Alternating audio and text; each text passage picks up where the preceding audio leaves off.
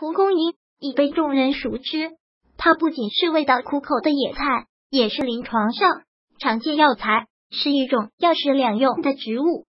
这几年，蒲公英的药用价值被不断的更新，很多人为了养生，用蒲公英泡水喝。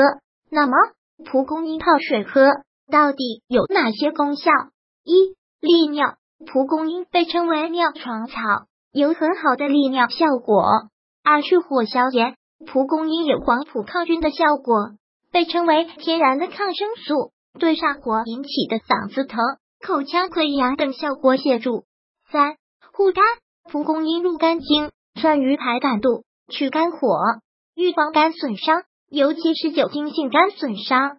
蒲公英能清肝又可疏肝。凡肝中郁热所见的急躁易怒、口苦、口干、口臭、咽喉疼痛、小便短赤等，均可加用蒲公英。四、预防和改善乳腺疾病。据《本草纲目》记载，蒲公英主治妇人乳臃肿，水煮之饮之利消、解湿度、散治气、化热度、消恶肿、结核、丁肿。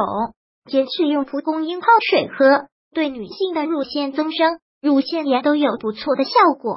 五、催奶，蒲公英泡水喝，对产后奶水不足也有一定的帮助。有一项研究，四十例缺乳产妇使用蒲公英，结果三十八例在连服三剂后乳管畅通，乳汁充盈；两例在服五剂时乳管畅通，乳汁增多。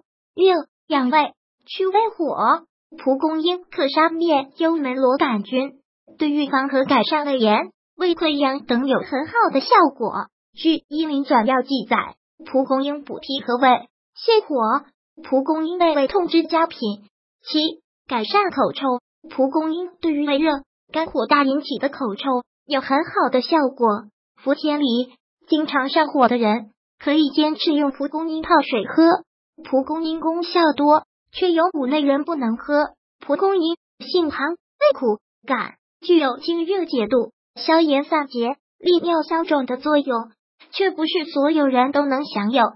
一、脾胃虚寒者不喝，否则可能会出现腹痛、腹泻等反应。二、久病之人不喝，久病的人身体很多较虚弱，需要更多阳气，而蒲公英属寒，会伤阳气，让病情不易好转。三、慢性肠炎者不喝，蒲公英为寒性食品。患有肠炎者不要喝，可能会加重腹泻症状。四、低血压者不喝，蒲公英泡水有一定降压作用，所以低血压者慎用，尤其是夏季。五、过敏者不喝，若喝蒲公英水出现荨麻疹、全身瘙痒等过敏反应，建议不要喝。教你三招帮助你降低蒲公英寒性。第一招，与白茉莉花搭配，白茉莉花又称为茉莉。性温，与蒲公英叶搭配制成蒲公英白茉莉花茶，可中和蒲公英的寒性。每天二到三克，可反复冲泡。二者搭配，疏肝解郁、养胃等方面功效更强。白茉莉花。有平肝解郁的作用，所含的挥发油性物质。具有行气止痛、解郁散结、兼理气安神、舒缓情绪的作用。白茉莉花。还可主温脾胃。有化湿和中、理气解郁之效，常用于脾胃湿浊不化、少食脘闷、腹泻和下利腹痛等症。第二招，与刺梅花搭配。刺梅花又称为野生小玫瑰花，性温，与蒲公英根搭配制成蒲公英刺梅茶，可中和蒲公英寒性。每天二到五克，可反复冲泡。二者搭配，疏肝、消炎等方面作用更好。更加适合女性饮用。刺梅花味辛甘，具有理气解郁、化湿和中、活血化瘀。